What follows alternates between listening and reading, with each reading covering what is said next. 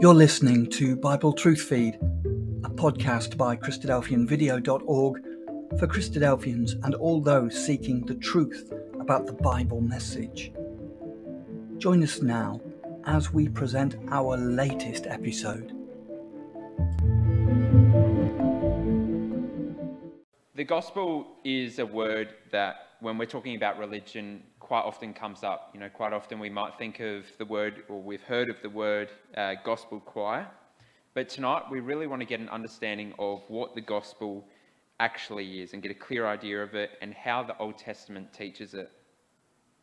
Often, many religions or other Christian denominations, uh, you know, they, they talk about the gospel, but there's no real, I guess, weight put on the Old Testament. But as I said tonight, we're going to see why it's entirely relevant and why it's entirely appropriate that we take and we read the Old Testament when it comes to the gospel. So let's jump straight into it. Tonight we're going to answer our question by exploring the Bible. You know, that's as followers of Christ, Bible believers, we base our life, our, our source of truth upon the Bible. The Bible's God's word, and there's countless, countless quotes within the Bible that clearly state this. But for the moment, we're just going to look at this one quote in 2 Timothy 3, verse 15 to 17. And it says, And from a child thou hast known the holy scriptures, which are able to make thee wise unto salvation through faith, which is in Christ Jesus. All scripture is given by inspiration of God and is profitable for doctrine, for reproof, for correction, for instruction in righteousness, that the man of God may be perfect, thoroughly furnished unto all good works. So, this here is just a small snippet of Paul's letter to Timothy. And he says, Timothy, all scripture, all scripture is inspired by God. And that word inspired literally means to be breathed out. So, all scripture is breathed out. And he does that through men and women who were moved and were influenced by God's divine inspiration to record the words that we have written down for us in the Bible uh, for us now. So, despite many men and women uh, contributing to the words found within the Bible, ultimately it was God in complete control of the words recorded in what we now call the Bible. And the amazing beauty of this is that despite being written by men and women across thousands of years, across different lands and geographies, its internal consistency is amazing. It's staggering. You know, you can only imagine if you or I were to commence writing a story even 100 years ago, say, and we wrote the first chapter, and then 10 years later we put it down, or we put it down, and then 10 years later, someone came along and picked that up and they continued writing it, and then 10 years later the same happened, and so on and so on. You can imagine what kind of story um, storyline would have. You know, what the original author had intended the story to be would very unlikely um, be what actually occurred. And without reading the previous chapters, the future authors wouldn't be able to maintain the same storyline or the principles um, without having to flick back into the previous pages to get an idea of you know, who these characters in this story you had were, you know, how they acted, what did they say, uh, what did they value. And so you'd get this complete mix up or this broken storyline. And that's what makes the Bible so amazing. And quite honestly, a miracle. It's, it's clear, it's logical, it flows. You know, themes and principles you pick up in one part of the Bible are, are maintained and built upon in other parts of the Bible. And often, many parts of the Bible were written without the knowledge or the foresight of sections that were written down uh, many hundreds of years later or before. So, to have that 100% consistency is, is amazing. And it's this internal consistency which gives it the unique ability of the Bible being able to interpret itself you know, threads are woven all the way through the Bible passages of Scripture, uh, themes, doctrines, principles, and prophecies. They're all woven into God's Word and it all works. It all fits in line with previous applications of the usage of these words. And it builds upon itself and it reveals itself if we're prepared to search, if we're genuinely prepared to search and, and to search the matters out and take on its message. And I hope that tonight you'll, along with me, be able to see this principle and see why the Old Testament is not only relevant, but it teaches the, go- the, the gospel. So, tonight we really aim to break down this theme for tonight by asking ourselves a few questions and hopefully by the end get a really clear picture um, and a clear answer to our question for tonight. Firstly, we're going to look at what is the gospel. We're going to look at why, why is it that we're looking at it? Why is it important? We're going to look at, well, where is it seen in the Old Testament, which I guess really delves at the heart of our topic for tonight. We're going to see what does Jesus Christ say about the gospel, and then we're going to look at the end why it's relevant for you and I. What is our response, and what is it that we need to do as a result of this gospel message? So our first question is, well, what is the gospel? You know, it's all good and well asking ourselves, how does the Old Testament teach the gospel? But first, I suppose it's actually important to understand what the gospel actually is. So, if you were to Google it, as every astute and reliable researcher would do, and as I have up on the screen, you would get the following definition. Under definition one, you would get, uh, or you'd read the teaching or the revelation of Christ. And apologies if that's a little bit small. We'd see under that same definition one, a thing that is absolutely true. So that's where we get the catchphrase, you know, if something's gospel truth. Someone might ask you a question and you'll say, it's for sure, it's, it's gospel truth. Uh, still under that same first definition, we'd see a set of principles or beliefs. Or another word they've got up there is doctrines. So it's clear rules and guidelines that can be described as gospel. Uh, under the second definition, the record of Christ's life and teaching in the first four books of the New Testament. So, quite often, uh, the first four books of the New Testament are called the four Gospels Matthew, Mark, Luke, and John. And then, under that third definition, we have, uh, which we referred to earlier, the African American evangelical religious singing, um, which, yeah, comes up quite frequently in the context of gospel choirs. So not a bad definition overall um, from Google. We can get a few key words from that. We can see that it's clearly an important part of religion. It has to do with Jesus Christ, his life, his ministry, his teachings, and that whatever this gospel is, these set of principles or beliefs, it's, it's true. It's absolutely true. And you could say that it's gospel truth if we were to look up what the gospel means in the Merriam Webster dictionary, we would get the following definition. We'd read uh, under 1a the message concerning Christ, the kingdom of God, and salvation. Then uh, under section B, we'd read one of the first four New Testaments, uh, New Testament books telling of the life, death, and resurrection of Jesus Christ. So we've already seen that um, in our previous definition. And then under C, an interpretation of the Christian message. So, again, principles and guidelines taken uh, from the Bible. Which, again, this is not actually a bad description. It has to do, we saw, we can see there in 1a, with the message concerning Christ. And we've just seen that in our last definition, and the kingdom of God. So the question is then, does this line up with the Bible? Does this line up with what the Bible says and Jesus explains the gospel to be? Well, here we have three quotes uh, on the screen from Matthew, Mark, and Luke, all these three gospels, and they all provide parallel records of Jesus' life and ministry.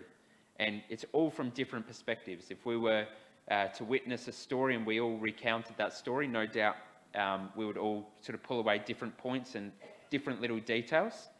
And that's the same for Matthew, Mark, and Luke. They all pull away from witnessing a same event, different little details, and they write it down. So here in Matthew chapter 19, we read, And everyone that hath forsaken houses or brethren or sisters or father or mother or wife or children or lands for my name's sake shall receive an hundredfold and shall inherit everlasting life. So Matthew says, if we leave for my name's sake, he says in Matthew 19, we'll inherit everlasting life.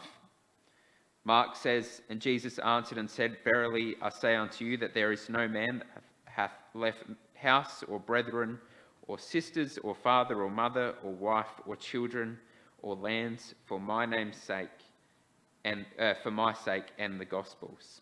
And then in Luke he says, And he said unto them, Verily I say unto you, there is no man that hath left house or parents or brethren or wife or children for the kingdom of God's sake. So, after reading all these three quotes of the same occasion and words spoken by Christ, but obviously recorded in three different Gospels, we can see that the Gospel, the kingdom of God, and Jesus Christ, they all come under the same banner. They're sort of interchangeable. They all come to mean the same thing. The Gospel is the kingdom of God, and the name of Jesus Christ as described between these three Gospels. So, again, not a bad definition by the Merriam Webster uh, dictionary to describe it in that way. So, with those definitions now in mind and what they mean in a modern context, we turn and look at what it means in the Bible. And if we want to do that, um, we can use a really helpful resource that was created by Dr. James Strong. And Dr. James Strong, he created the Strong's Concordance, which no doubt uh, many of you have heard. And he clearly has a very, come up with a very original name. And the way that he created this was by using a numbering system. He collates all the different occasions that a word is used and he separates them by their meaning. Um, and, he, and he allocates it at a particular number and provides a more defined meaning and it gives more of the sense of what the word truly means based on its context and the way that it was written. You know, obviously we have words in the English language that, you know, it's the same word, but they all have multiple multiple meanings and can be interpreted slightly differently. And that goes for the same in the Hebrew and the Greek.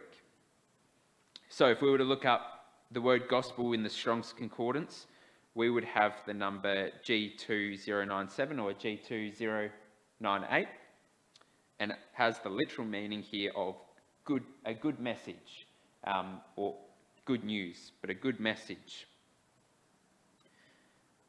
Now, if we were to look at other occasions of where this Greek word is used, we would find quotes such as Acts 8, verse 12, um, where we read, But when they believed Philip preaching the things concerning the kingdom of God and the name of Jesus Christ, they were baptized, both men and women. So here we have the word preaching, and it's the exact same word as gospel. He says, and what they're preaching or, or gospelizing about is the things concerning the kingdom of God and the name of Jesus Christ. So it's all beginning to line up, isn't it? You know, the gospel or, or preaching, the message concerning the kingdom of God and the name of Jesus Christ, it's good news. And that word uh, that Greek word literally can be whittled down to a simple meaning of something that is good. So the question that we have now is well, what is this good news that is within the Bible, within this gospel message of Jesus Christ and the kingdom of God? Well, one of the first things that we learn about and that the Bible explains is that it's more than just good news, isn't it? It's essential for our salvation. Romans 6, verse 23 says, For the wages of sin is death, but the gift of God is eternal life through Jesus Christ our Lord. So, pretty clear, isn't it? The outcome for us because we sin, when we go against God's laws or, or principles, is death. But the free gift given by God is eternal life. And how do we receive this gift? Well, in our next quote from John chapter 3, for God so loved the world that he gave his only begotten Son, that whosoever believeth in him should not perish, but have everlasting life. For God sent not his Son in the world to condemn the world, but that the world through him might be saved. So if we believe, we won't perish, but have everlasting life. And what are we to believe? Well, Mark 16 has that for us in verse 15 to 16. He said unto them, Go ye into all the world and preach the gospel to every creature. He that believeth and is baptized shall be saved, but he that believeth not shall be condemned. So, whoever believes this gospel message, this gospel preached, shall be saved. Paul says in Romans 1, verse 16, he says, For I am not ashamed of the gospel of Christ, for it is the power of God unto salvation to everyone that believeth, to the Jew first, and also to the Greek. So, Paul, who is writing to the, the Romans here in this case, is writing to them about how important this gospel message is. He says, I'm not ashamed of that gospel. And why? Well, because it has the power of God unto salvation to everyone who believes it. It's pretty clear, isn't it? And, that, and that's how important it is. If we want to have a hope, you and I, of something else beyond death, something else other than death, then we need to understand the gospel. But do you know what? There is, there is a danger. There is a warning because Paul says that there can be these false gospels. Turn to Galatians 1, verse 18, uh, verse 8 to 9, just a few pages earlier. Paul says, But though we or an angel from heaven preach any other gospel unto you than that which we have preached unto you, let him be accursed. As we said before, so say I now again, if any man preach any other gospel unto you than that ye have received, let him be accursed. So, sounds like pretty strong language, doesn't it? Paul's saying, even if we, including himself, teach another form of gospel, let us be or let them be accursed. And we know why he's speaking so strongly, don't we? If we don't, if we don't believe it, if we don't have a correct understanding of what the gospel is, then we will miss out and we will not be recipients of that free gift, that free gift of eternal life. So if someone, Paul's saying, is out there preaching something and he includes himself, that isn't what I'm writing to you now, and what we'll go on to read that he uh, says in the later chapters. He says, If it's not what I'm saying to you now, let them be accursed. They're pushing away many or others from that free gift of God, eternal life. It's literally a matter of life and death.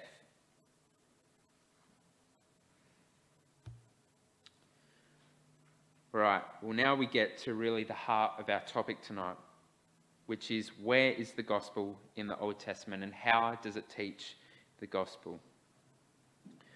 Well, first, before we turn to the Old Testament, let's go back to our reading uh, tonight in Galatians chapter 3. Because in our reading tonight, Paul gives us the map to point us where this gospel was first preached back in the Old Testament If we have a look at Galatians 3, verse 8, he says, And the scripture, foreseeing that, the, that God would justify the heathen through faith, preached before the gospel unto Abraham, saying, In thee shall all nations be blessed.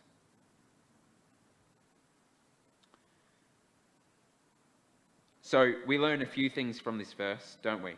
This gospel, Paul says in Galatians 3, verse 8, was first preached unto Abraham.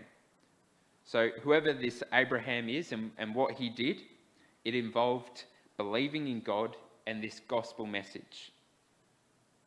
And the fact that he believed in what God had said meant that he was given a promise. And we can see this in the end of verse 8. He says, In thee shall all nations be blessed. But this promise Paul says that this promise is as being equivalent to the gospel. The gospel was preached to Abraham and it's summarized in the saying, In thee shall all nations be blessed. So, who was Abraham? And what is the context and why is this saying relevant to the gospel? Well, we read about Abraham, don't we, right back in Genesis, the first book of the Bible. So, obviously, already the origins of the gospel are right back being introduced in the Bible right at the start of Genesis, at the beginning of the Bible. So, clearly, it's important if it's uh, being introduced so early. And if you're thinking that, well, the gospel came into existence during the time of Jesus or the apostles or the gospels or the disciples, no, Paul tells us that it's been around since Genesis, the first book of the Bible. And you know, the whole context of Galatians chapter 3, the law, the works of the law, not being able to save, it was an argument to the Jews um, in the Galatia region who thought that the law could save people. And Paul has to make the point it's not the law that saves, it's the gospel. The gospel that saves people was before the law of Moses, before the law was introduced, before what you're saying is the thing that saves. So turn to Genesis chapter 12, verse 1 to 3.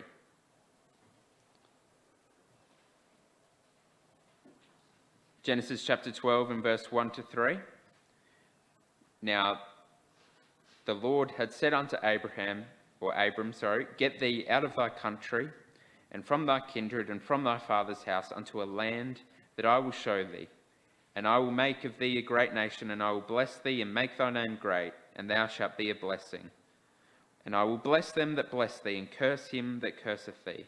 And in thee shall all families of the earth be blessed. So God appeared to Abram and told him to go to a place that God would show him. And Abram went not knowing the location, and that place was the land of Canaan, or um, modern day Israel. And you can see that up on the map. He leaves Ur, which is modern day Iraq region, heads up to Haran, and then he makes his way down to Canaan and has a little bit of a period of time in Egypt, but ultimately ends up in, in Canaan. But we read there at the end of verse 3 In thee shall all families of the earth be blessed. You know, that sounds pretty familiar, doesn't it? Look at Galatians 3, verse 8.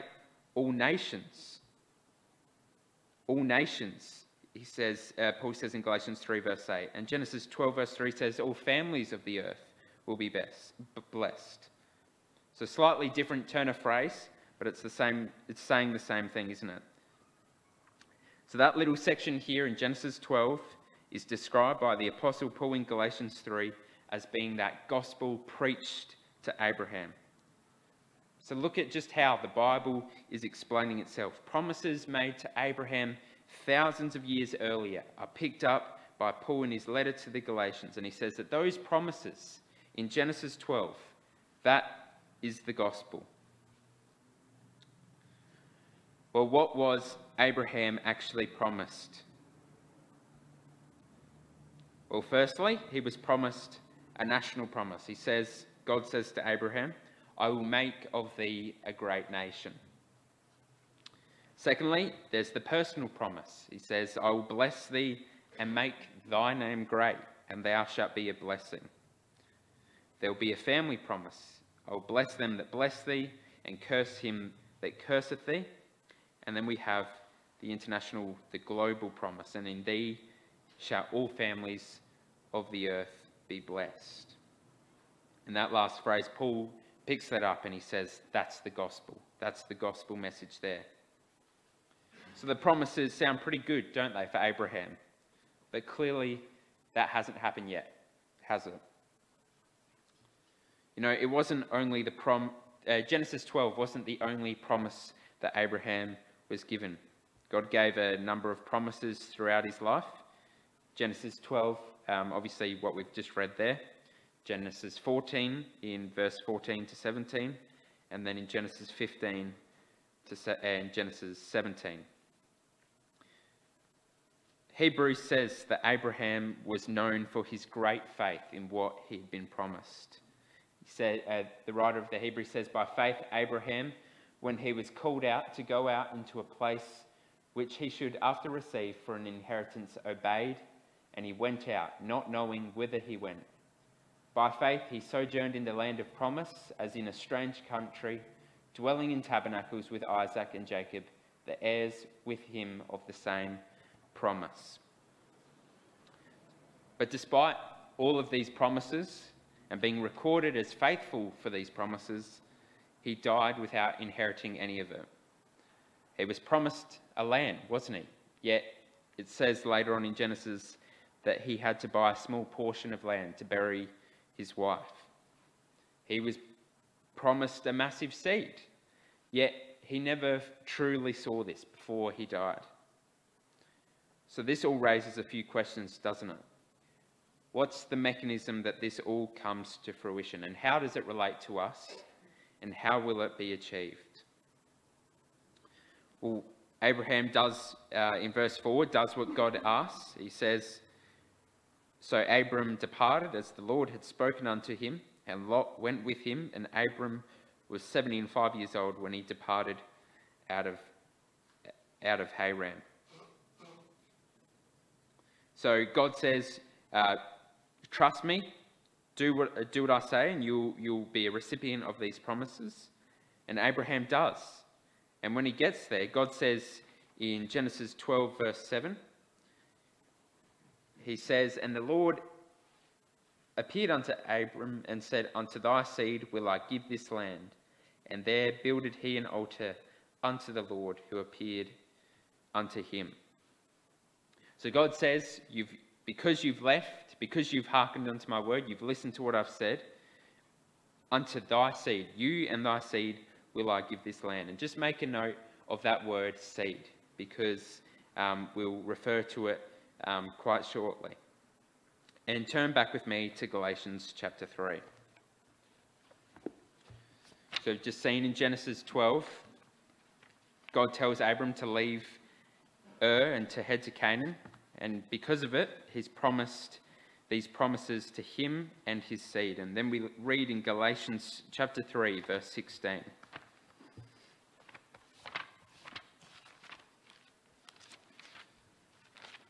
Galatians 3, verse 16. Now to Abram and his seed were the promises promises made. He saith not unto seeds as of many, but as of one, and to thy seed, which is Christ. So Paul says now to Abram, it says now to Abram and his seed were the promises made.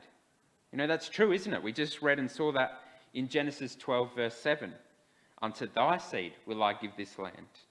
So Paul picks it up here in Galatians 3, verse 16. And what's the point Paul's making? Well, he's saying when God said in Genesis 12, Unto thy seed will I give this land, in Genesis 12, he's not talking about a multitude of descendants in the plural. He's talking about one, one seed.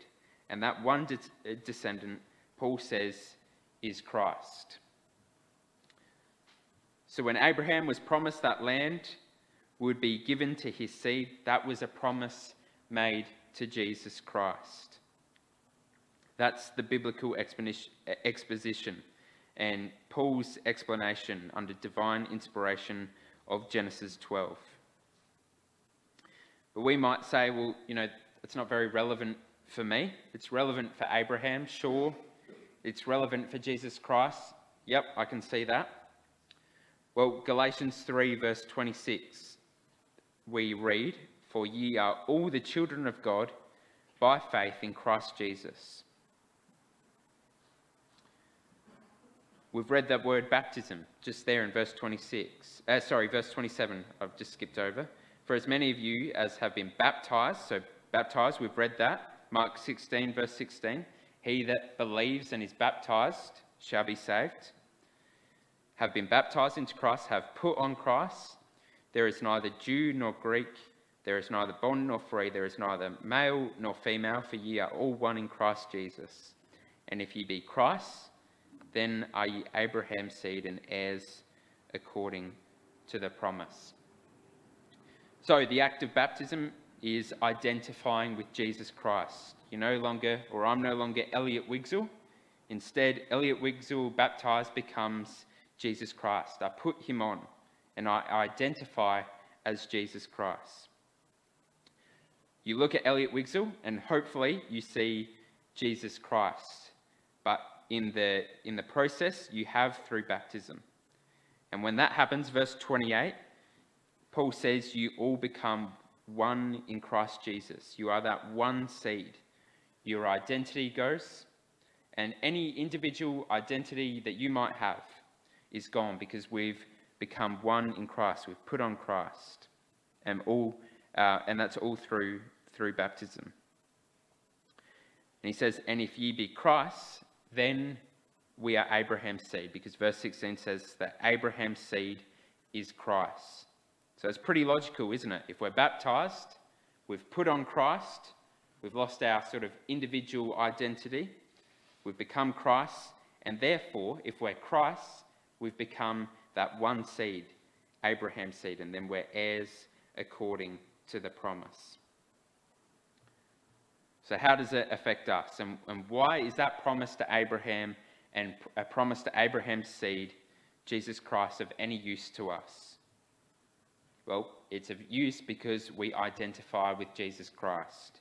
We become Abraham's seed and we become heirs to the promise. And that, as Paul says, under divine inspiration, the gospel. We've referred to it a few times, Mark 16, verse 15 to 16. Go ye into all the world and preach the gospel to every creature. He that believes and is baptized shall be saved. So, baptism is that key step, the essential uh, step that we need to take. And in doing so, we identify with Christ. And it's pretty clear and it's pretty direct and straight to the point. He says, if we do believe, well, then we shall be saved. There's no ifs and buts, it's we shall be saved. And if we don't, we shall be uh, damned or, or condemned. Well, how is this all going to happen.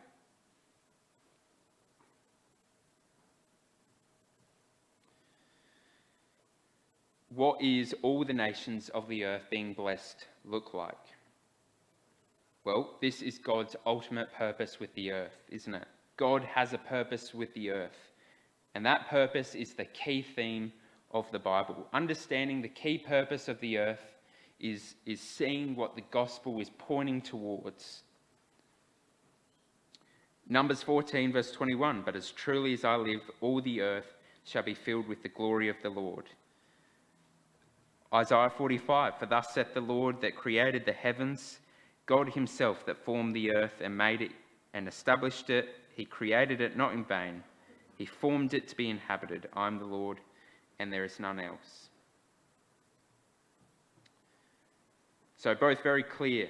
God has always intended to have a purpose with the earth, and it's to set up a kingdom which will be filled with his, with his glory.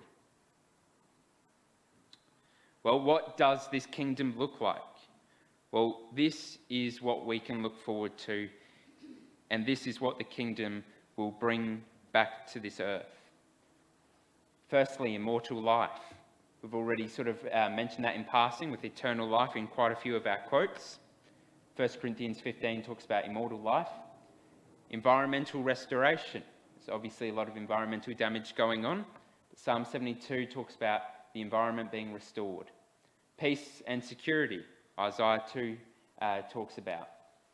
No more pain or suffering. Uh, no more physical or mental health conditions. Jesus Christ will rule righteously in Luke chapter 1 and everlasting joy in Isaiah 30, 35. And if you think this is all a jump or a stretch too far, this idea of a kingdom being established, being saved to eternal life, I just want to quickly look at a few quotes from Christ to show how truly important this is. Because this gospel we're discussing tonight is what Jesus believed and he prayed for. John 17, verse 3, just quickly uh, turn there with me if you will. John chapter 17, verse 3. This chapter is a prayer of Jesus. And he says in verse 3 And this is life eternal, that they might know thee, the only true God, and Jesus Christ, whom thou hast sent. Matthew chapter 6 uh, includes the Lord's Prayer in the Sermon on the Mount. And he says, After this manner, therefore, pray ye, Our Father which art in heaven, hallowed be thy name. Thy kingdom come, thy will be done in earth as it is in heaven. So, pretty incredible words in the context of what we've seen tonight. Jesus prayed for the time when this mechanism for how it will all be achieved. Abraham receiving those promises, us having an opportunity to be involved in these promises and receiving this amazing gift, and the time when God's ultimate purpose with the earth would be fulfilled. And he says it pretty clearly, doesn't he? He says, Thy kingdom come, thy will be done on earth.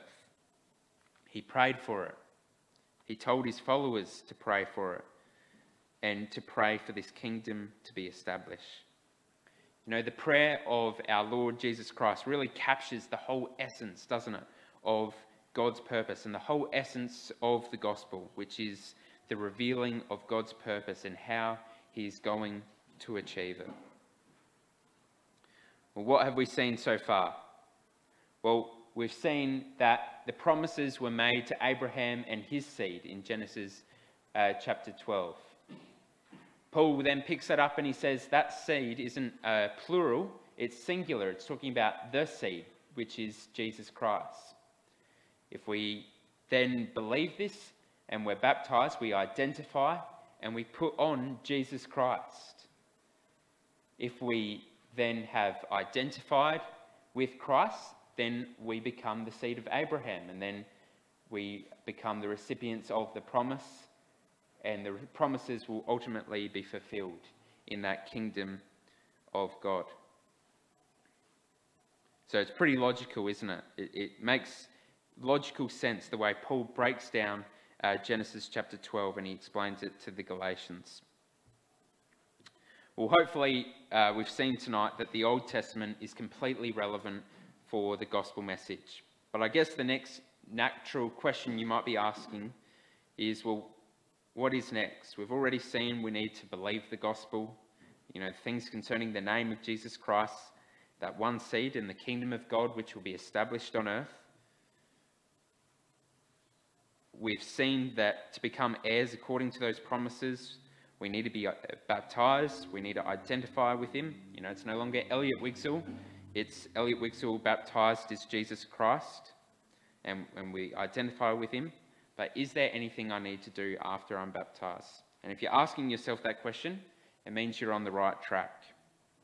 Because it's exactly what Paul says in Romans chapter 6, verse 3 to 4, if you'll just quickly turn there with me.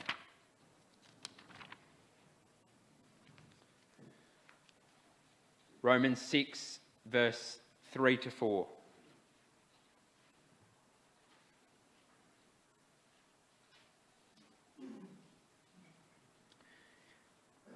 he says, Know ye not, so this is all in the context of baptism. He says, Know ye not that so many of us were baptized into Jesus Christ, were baptized into his death. Therefore, we are buried with him by baptism into death, that like as Christ was raised up from the dead by the glory of the Father, even so we also should walk in newness of life. So Paul says once you are baptized, you need to walk in newness of life. When others look at you, they, can, they need to see those qualities of Christ in you. Because it's no longer Elliot Wigzell, it's, it's Jesus Christ. Galatians 2, verse 20, if you'll turn there uh, back the chapter prior to our reading.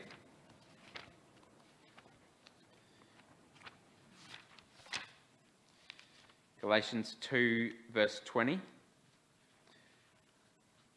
Paul says, I am crucified with Christ, nevertheless I live. Yet not I live, but Christ liveth in me. And the life which I now live in the flesh, I live by the faith of the Son of God, who loved me and gave himself for me. It's a bit of a tongue twister quote, but essentially, Paul's saying, and the simple message is that we don't live unto ourselves, we live as Christ. We've identified with Christ, and therefore, as a result, we live as He did, and we do that because He gave His life for us so that we could be saved. For the sake of time, we won't turn there, but Mark 8, verse 35, and 1 Corinthians chapter 9, they talk about living the gospel, living the name of Jesus Christ and the kingdom of God. Hebrews 12, verse 28 says, Therefore, let us be grateful for receiving a kingdom that cannot be shaken, and thus let us offer to God acceptable worship with reverence and awe. So the writer of the Hebrews says, We've been given a kingdom which can be which can't be shaken. It's, it's a sure reality. It's going to happen. So therefore, as a result of this, live a life of thankfulness. And how do we do that? Well, Christ, in the context of talking about the kingdom, says in Matthew 25, he says, Then shall the king say unto them on his right hand, Come ye, blessed of my Father, inherit the kingdom prepared for you from the foundation of the world. For I was hungered, and you gave me meat. I was thirsty, and you gave me drink. I was a stranger, and you took me in. Naked, and you clothed me. I was sick, and you visited me. I was in prison, and you came unto me. And he says, um, end of verse 40, Inasmuch as you've done it unto one of the least of these, my brethren, you have done it, you've done it unto me. So, Christ is saying we live our life of thankfulness by the way that we treat one another, and in doing so, we will inherit the kingdom prepared for you from the foundation of the world.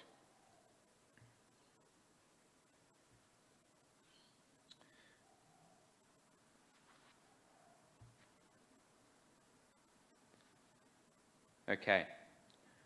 Well, let's wrap up by taking a look at an overview of what we have seen tonight. Firstly, we saw, didn't we, that the gospel is the good news concerning the kingdom of God and the name of Jesus Christ. We saw that the gospel is the power of salvation, and if we believe it, we shall be saved. And it's why Paul said that he wasn't ashamed to preach this gospel message. Paul said that the gospel was first preached to Abraham back in Genesis chapter 12. And those promises were to Abraham and his seed, which was Christ. We've seen that if we identify with Christ through baptism, then we become Abraham's seed and recipients of those promises. We've seen that God will establish a kingdom on earth and it will be filled with people who reflect those Christ like qualities, and that will ultimately fulfill his whole purpose with the earth. And it was just seen there at the end, there needs to be a response. You know, belief and baptism are the first two steps, but then as a result, we need to walk in newness of life, living the gospel in thankfulness and the way that we treat one another. Because in the, you've done it unto the least of my brethren, you've done it unto me. So hopefully, as we leave this place tonight, we uh, know a little bit more about this amazing gospel message, this good news of eternal life. We've many lectures on this topic and on other topics that we've touched on here tonight. But the key is, isn't it, that that we need to believe, we need to be baptized, and we need to respond, and we do that in our day to day actions as we await the sure return of Jesus Christ to set up his kingdom. Thanks.